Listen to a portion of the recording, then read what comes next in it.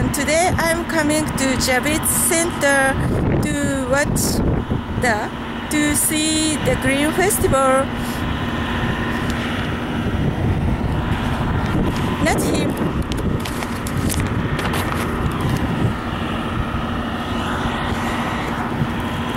This cat is the best cat for nuclear problem, so she will tell us what happens to Japanese people and American people's daily life by nuclear problems, nuclear power problems.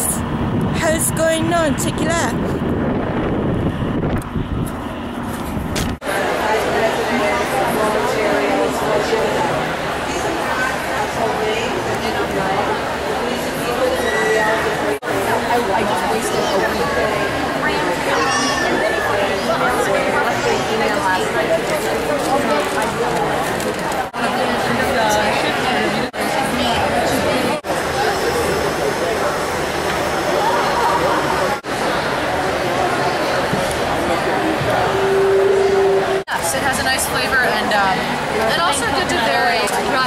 To acquire cancer from the same exposure that men get. And women are 50% more likely to acquire a fatal cancer from that exposure. You do not hear this. It's just not widely advertised. Children between 0 and 5 are more vulnerable than adults, both men and women. And girls are twice as likely as boys to develop cancer from the same exposure. So there's a real gendered bias here, and it is not being dealt with in terms of our what's when we're told an area is safe or certain amounts of radiation are safe, it's really much more severely damaging to girls and to women. Um, yet the government safety standards of radiation our energy into something positive instead of just keep worrying about it.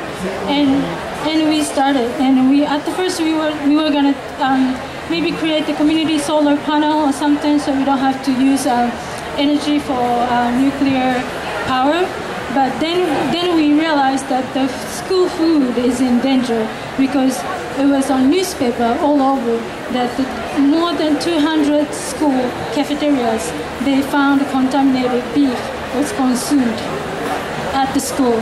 So um, we started doing petitions and we started going to um, um, local governments and ask them to publish the list of the, each single food where they're coming from so we can avoid the food from Fukushima and around surrounded area.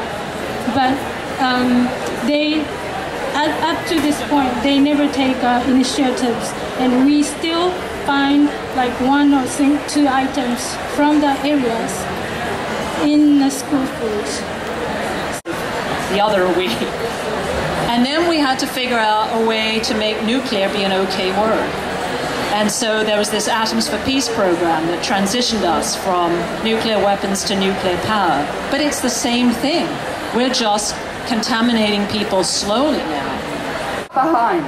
Most politicians are businessmen, men, men, men with ties, men, and lawyers who grease the wheels of the wickedness that's going on with the corporations. They have no scientific knowledge, they're medically illiterate, they don't know what they're doing, and they're destroying the planet. And I'm fed up with it. So what you need to know is your president is not your leader. You are his leaders. For God's sake, get going. Take your country back. You need a revolution. I'm sick of this.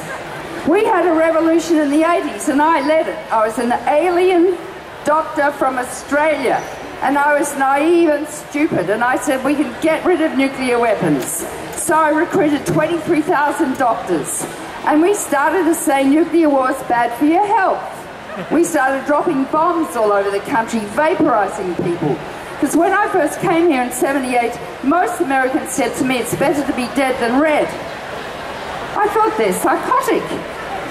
Yeah, we'd rather be blown up in a nuclear war, they said, than be communists. Ooh, communists.